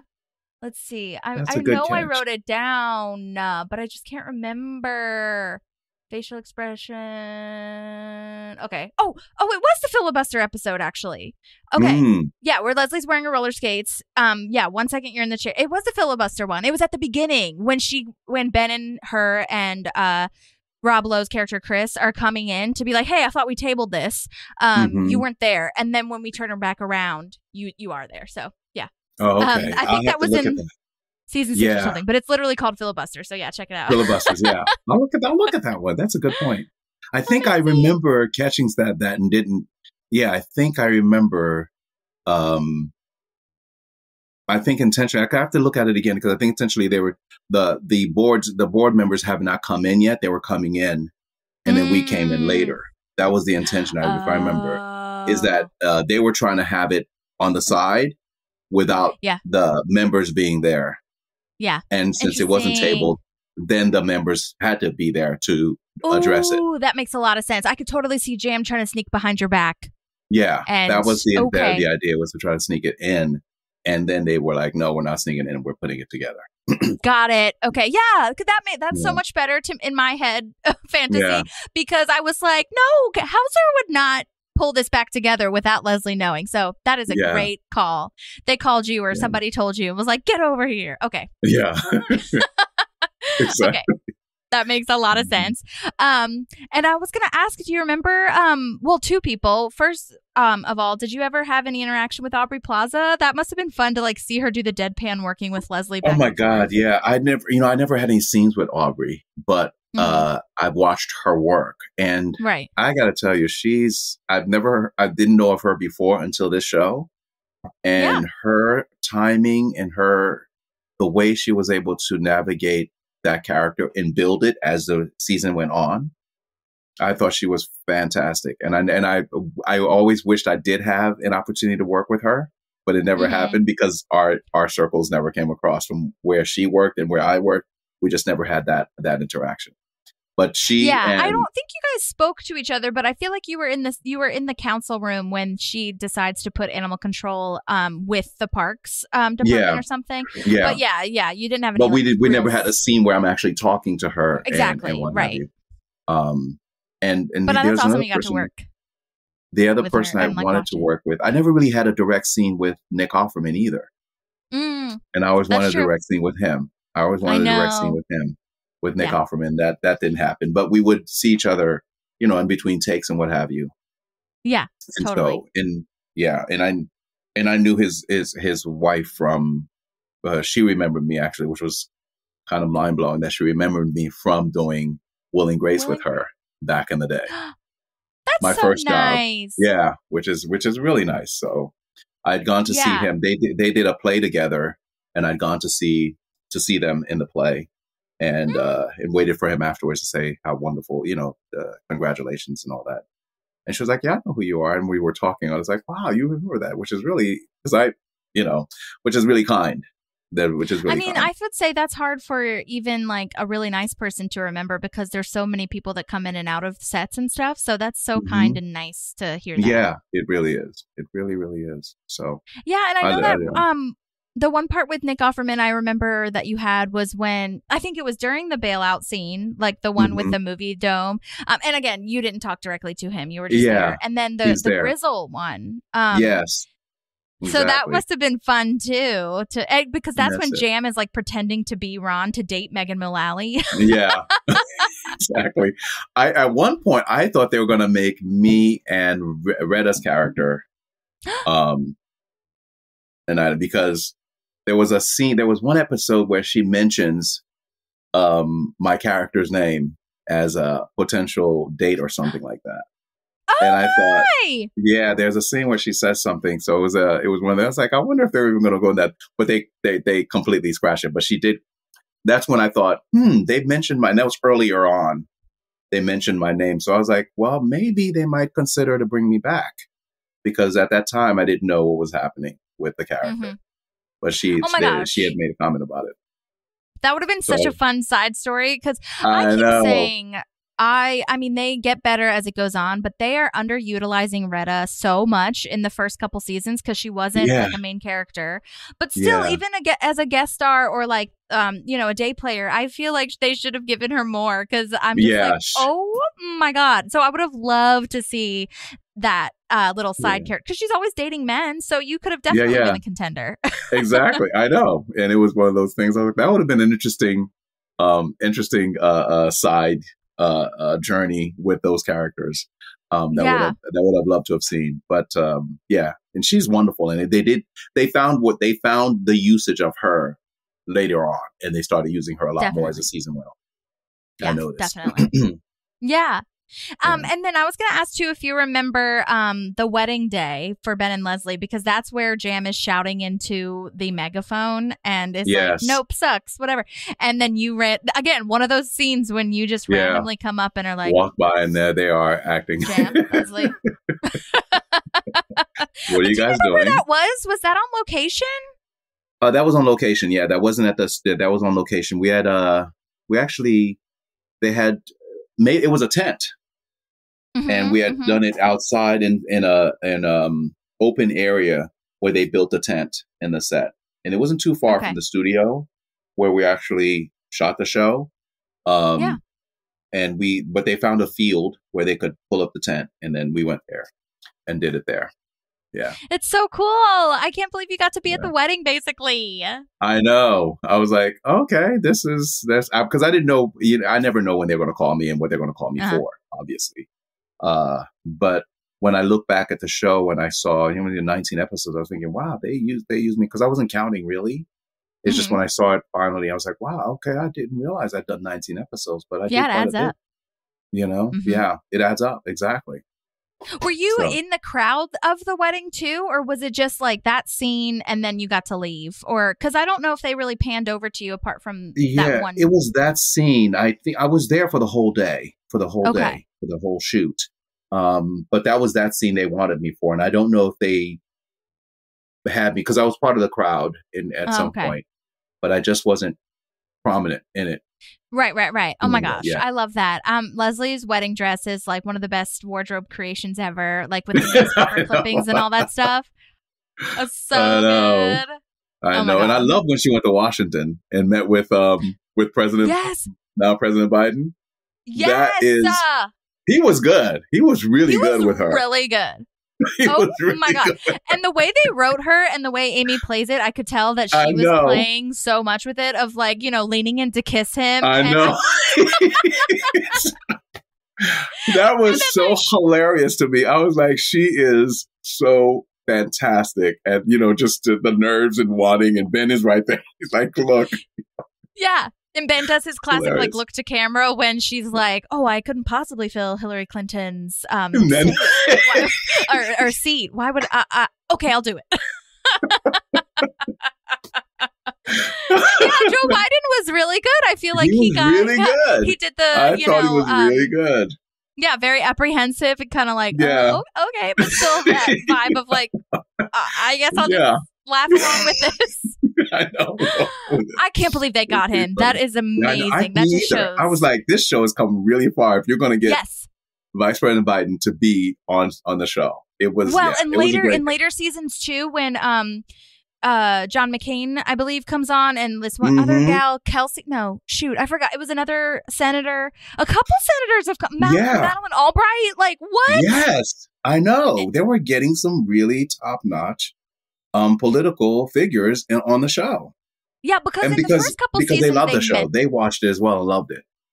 yeah absolutely i mean that's really the how indicative or, or Yeah. that's indicative of how wonderful the show was um but yeah that's kind of how i felt about like in the beginning they were mentioning all of these people like leslie Mhm. obviously knew who all these people were and everything but then as we get further on those people are actually coming on and i was like oh my gosh what a wonderful like trajectory for them Yeah, for sure.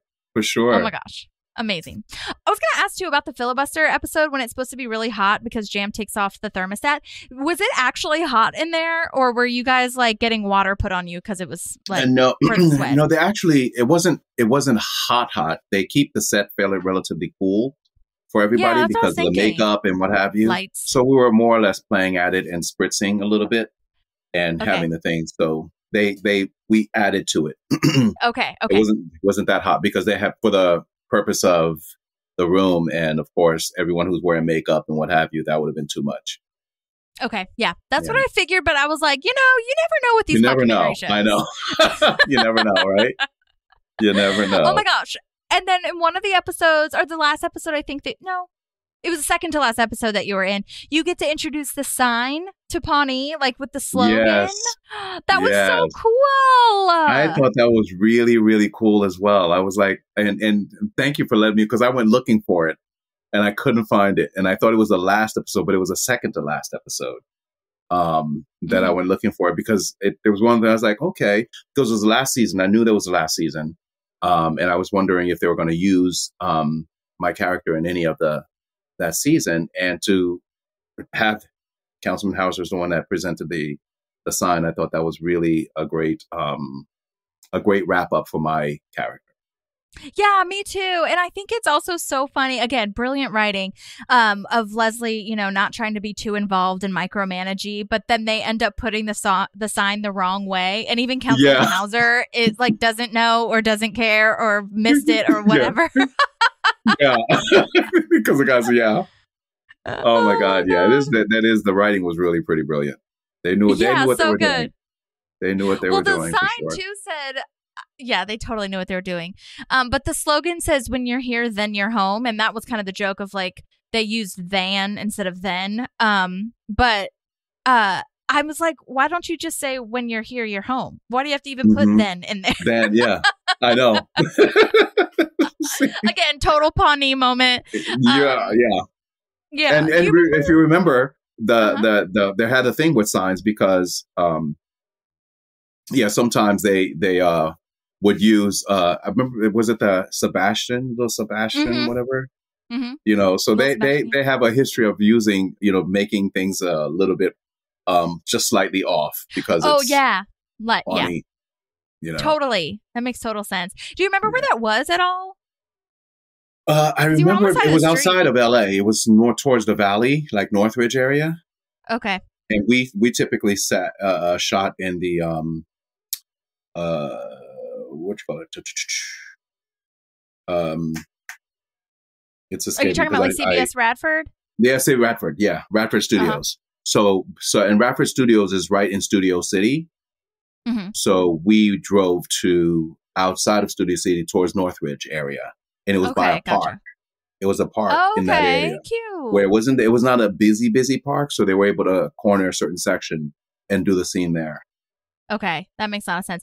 Yeah, Yeah. I, in my research of this show, I've kind of learned that um, a lot of times, if if a show is not based in LA, there's only like one little tiny section in LA that doesn't have or will show like won't show palm trees, so that you can get the idea that it's like Midwest. yeah Uh, But apart from that, you got to go outside a, a little bit gotta outside of LA. yeah a little bit outside and that's where they, they that's why they went to northridge area because that park didn't have it just had basic trees and what have you and not i don't recall any having any palm trees or whatever you know, Yeah, I didn't see it. It Yeah, totally looked. Midwest, like you know, Yeah. green grass and you know, small little road. So they always do a really good job of setting up. But I think that's really wonderful, though. Speaking of being on location, that you got to be on Lot Forty Eight, which is Leslie Knope's whole, like where her wedding was, like which is her the whole premise of the show, basically, like Yeah. to put a park on that show or on that uh, lot. So that's awesome. Yeah.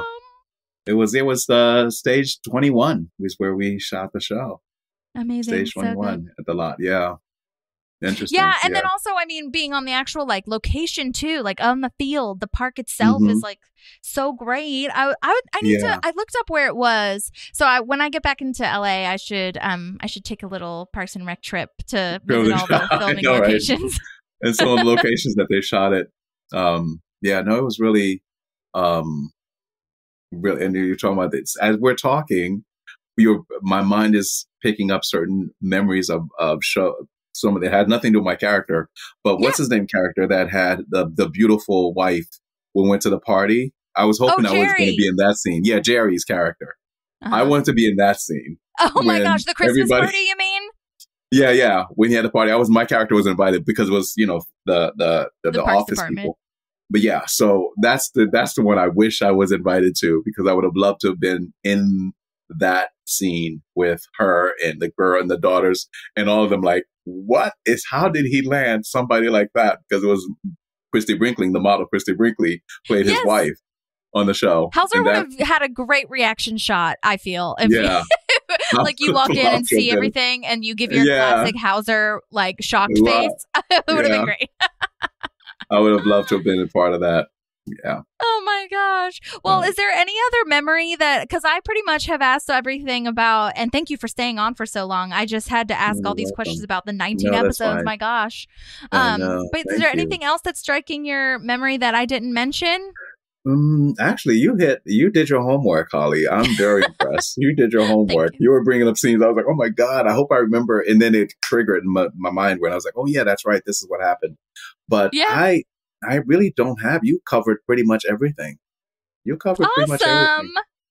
Thank well, you. I mean, I never expect anyone to like really remember everything. So, like, I always Mhm. preface it or, or say afterwards, like, honestly, what you gave me was great because, I mean, well, especially characters that are on for, you know, a millisecond of an actual scene or whatever. Um, Mhm. there's it's still big to me. So it's like, I don't expect you to remember everything. You haven't watched it 100, you know, times. yeah. So anything you can give is great. But I loved it. It was so good. Yeah, thank you so much for taking me back to memory lane and and um, reminding me of the impact that the show had with a lot of viewers because I I'm I'm not always on top of it like that because I'm just Mhm. looking at other things and what have you and I'm always reminded of the impact that you know TV and certain shows had and especially during the, the pandemic people really caught on to Yes. a lot of the um, sitcoms and Parks being one of them had a resurgence during the pandemic of people just binge watching it and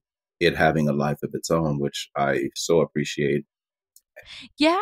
you know. And so you reaching out, uh, my, my agent was like, and you reached out to my agent and I thought, Uh-huh. I, and they said, you know, you should do this. I was like, of course I'm going to do this. I had no intention of not doing it because Yeah. I, I, I, as an actor, I, and I read and I said, you were an actor as well. I was like, I always want to reach back and try to bring everybody into the fold and try to support the creative process. And because there's room for everybody and Mhm. there's room, an opportunity for everybody to shine and do what they do. So it was, it was, I was very, um, honored to come on your podcast and do this. Oh my gosh. Well, it's right back at you. We are so happy that we got to talk to you. I mean, people love the council. Howser is so popular. Like, if, like when I tell people that I'm talking to Howser, they're like, "Oh my god, what?" Yes.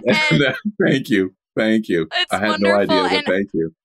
Yeah, honestly, I mean, and people uh love Dexhart. Um, we we talked to him uh, as well, Mhm. and he was so Kevin funny. Simmons, yeah. Kevin's Yeah. he's so not Dexhart. Oh, not at all. Not at all. which he is is, yeah. the best. I mean, Yeah. he was so friendly, and he actually had some of the scripts. He said he kept some of the scripts, and he was showing us some of the things that he oh, really? remembered. And I was like, "That's incredible." And you know what? I think I might have reached out um to, or I wanted, I might have wanted to reach out like.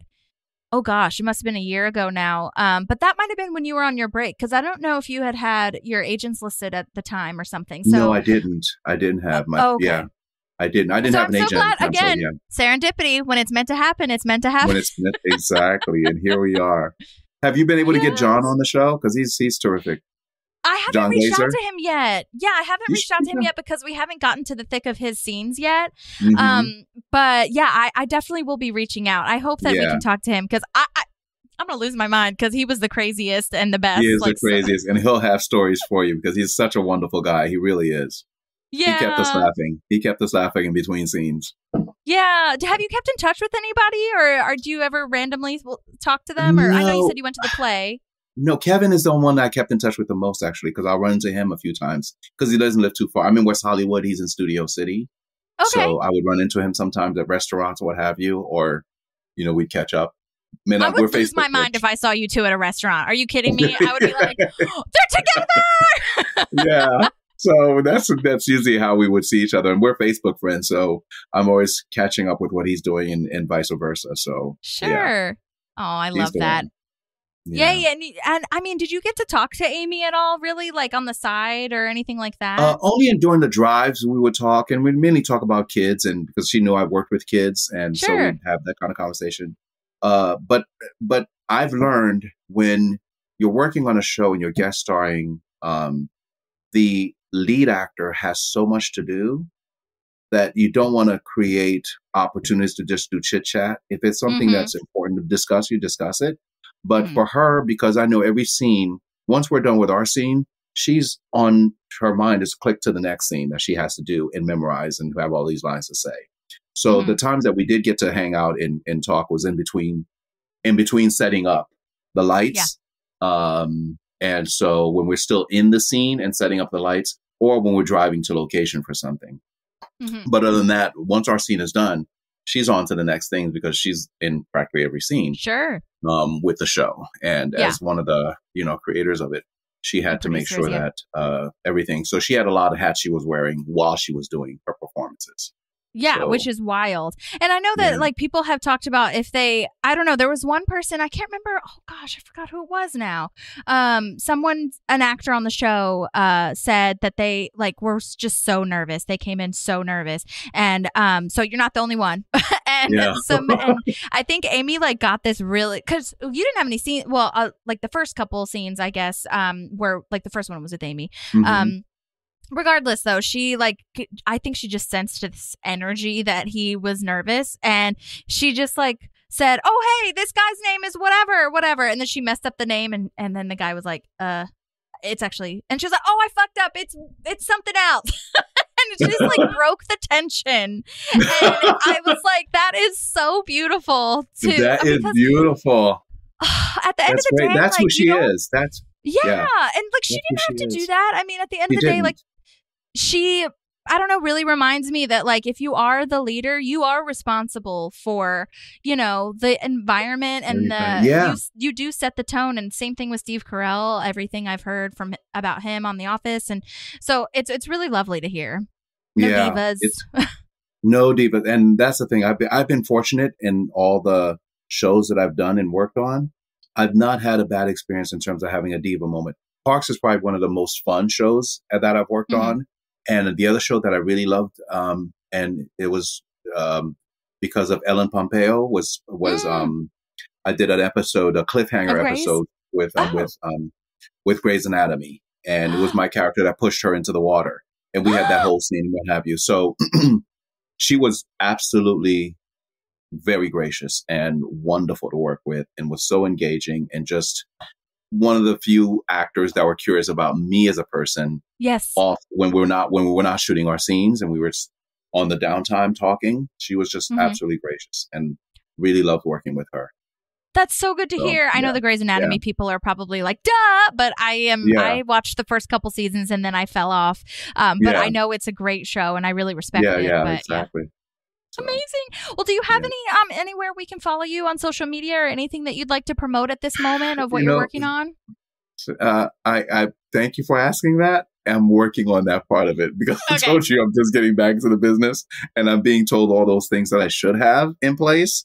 So Yeah. I'm working on those things right now. Um, I so I don't ya. have a platform yet, and I haven't created. I'm working on a website because again, I am just jumping Yeah. back in, and it, things have changed when I was when I started in the business and have to get into the social media Oh platform and what have you, and and do it that way. But, it's but exhausting. asking. Yeah, I mean, I I I have uh, I'm fully addicted to social media. It's awful. Like I I totally Yeah. know. Like I I do give myself breaks and I try to turn my phone the other way so that. But it's just Mhm. like it's a it's an instinct. It was built to be addictive. So I honestly I kind of commend people that aren't on it. But at the same time, if you're like a day player, actor, or just an Mhm. actor in general, it's like yeah, it's nice to have that almost as like a digital resume in addition Yeah. to you know your IMDb and stuff. Um, because IMDb doesn't always show everything. So no, it's, yeah. uh, you're right. You're right. I mean, that's why I, I have to create a website because my manager's getting on me about that, and also Mhm. now I just have You'll a quick question done. for you. You do Yes. musical theater? I do. Yeah. My hat's off to you. It's one of the skills I wish I could do. I have a lot my of God. musical theater friends, but I love, love, love. Actually, last night I went to see um, um, The Wiz, which is touring before it gets to Broadway. It's at the Ahmanson, And- right, or something? Yeah, it was at there was at the Pantages. Oh, It's at the Pantages. Okay, okay. Yeah. Okay. So and and a lot of my very close friends are musical theater performers. Yeah. But it's one of the gifts that was not given to me when I was in heaven trying to get my life, trying to come down here with gifts.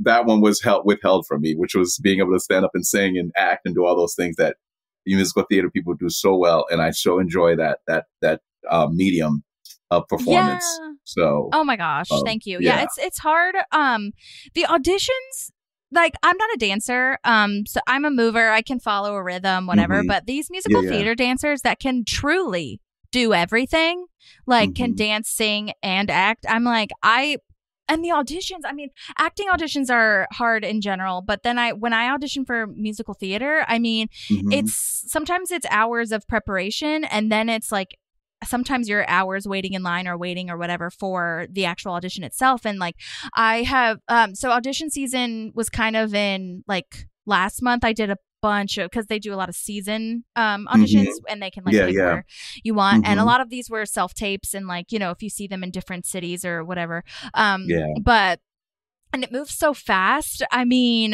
the I I booked my first regional show last year, um, which was so fun and lovely. It was like a newer play or newer musical, Mhm. and Mm-hmm. it was amazing. But yeah, we had two weeks to rehearse, and then it was up, and I was like, oh my god, that, and that's like the norm. That's the norm. And to learn music that fast, I mean, Oh I, I, my hat's off to you. It'll take me a month to learn one song, so I can make sure I hit every, every, so I can talk through every note that I'm supposed to talk through because I'm Yes. not singing. So I I, my mean- hat's off to you. Thank you. Yeah. It's so fun. I mean, it really is a passion, and every day is different. Every audience is different. I, Mhm. I mean, it it lights me up. So yeah, thank you. Oh, good, good, good, good. I can see that. Well, I will make sure that your um, IMDb at least is tagged in our show notes and everything. Yeah, and then once you do. get the Yeah. Instagram, follow us. We're we're on Instagram. I can email you Okay, so that you can follow us and we can you know keep up with you and everything. And I'm Um, on Instagram. just It's just really Yvans Jourdain.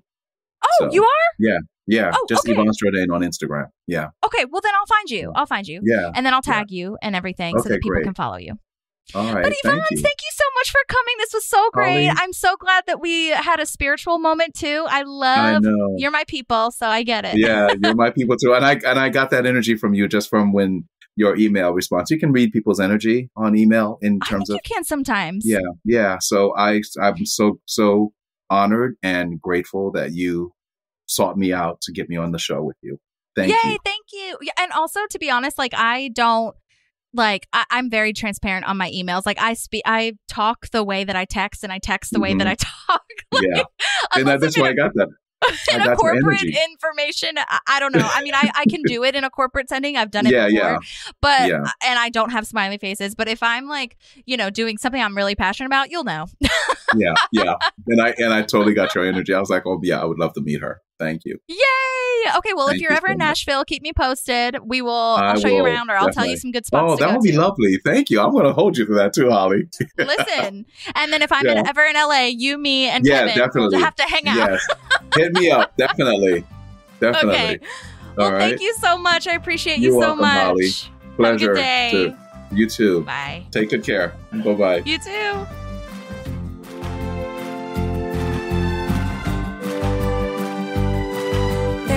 work and some pals, and there's also therapy too.